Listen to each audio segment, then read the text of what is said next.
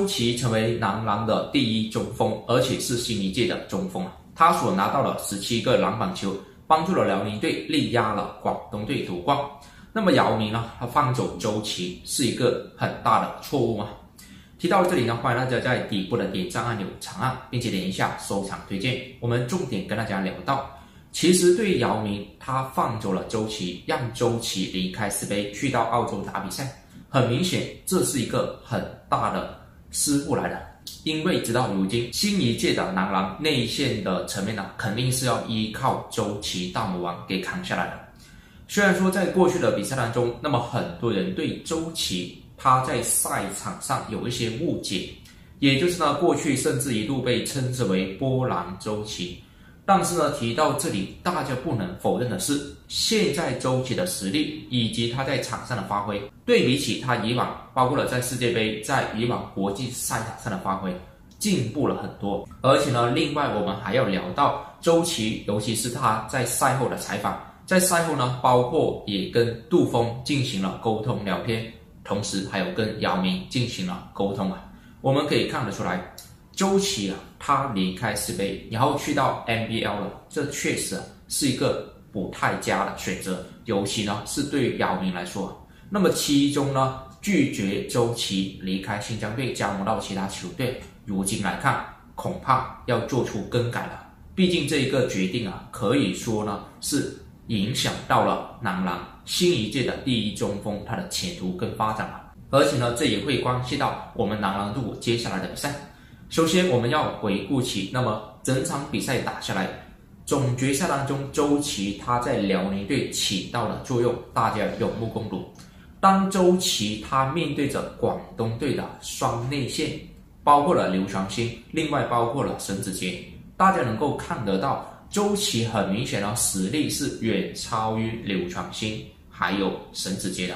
虽然说沈子杰大鸟他在场上不断形成了暴扣得分，但是很多篮板球呢依旧是让周琦稳稳拿下来的。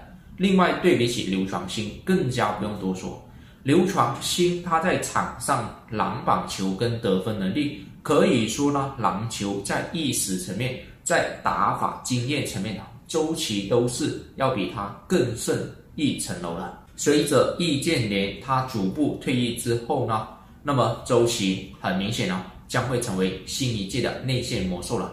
虽然说阿联他新赛季还会继续出战，但是大家都知道，易建联呢未来的比赛顶多呢只能打个一两年，而且因为跟腱断裂的影响，接下来肯定呢要让周琦大魔王来接班了。所以说，周琦他如今的实力完全是具备我们男篮的第一中锋这个总体水平的。另外，我们再来聊到周琦他在过往为什么会受到种种质疑呢？其实呢，最主要还是因为一九年的世界杯比赛，当时因为周琦他面对波兰战队，因为最后的一个罚球跟队友形成了一个默契程度不够，还有当时李楠主教练他的。指导导致了我们输掉了比赛，而且是无缘了后面的比拼啊！这使得很多人呢，因为一场比赛而去质疑了周琦的实力，甚至还称之为“波兰周”之类的一个称号。确实，如今再来回过头看一看，很不应该。因为呢，周琦他在过去怎么说都是留洋参加过 NBA 的赛场，而且呢是取得过不错的成绩的。另外呢，他回归到 CBA 的比赛。在内线层面呢，他的得分效率跟数据都是稳居着前三位的。所以说呢，过去呢，大家会因为周琦一场比赛而否定了他后面接连一连串的比赛。如今来看呢，周琦他确实在内线层面呢排名第一位了，十七个篮板的数据在总决赛当中，这就是很好的证明了。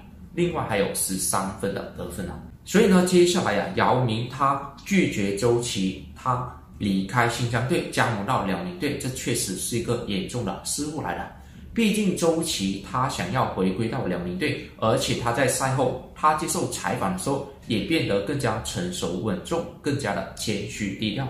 周琦呢，他也明确谈到，他想回归到辽宁队，内心呢会感觉到温暖，希望接下来呢，包括了姚明，包括了 CBA 方面呢，可以给到他一条绿色通道，让周琦。回归到辽宁队，留在世杯打比赛。新赛季当中，那么再一次跟广东队进行对碰啊，肯定会更加精彩。更何况周琦留在国内打比赛，男篮任何时候需要周琦，需要周琦带队出战都是可以的，没有任何问题。大家是否支持周琦？接下来姚明给他开绿灯，让他留下来打比赛？欢迎做出你的点评，也欢迎大家点点关注并转发，感谢大家支持，下见。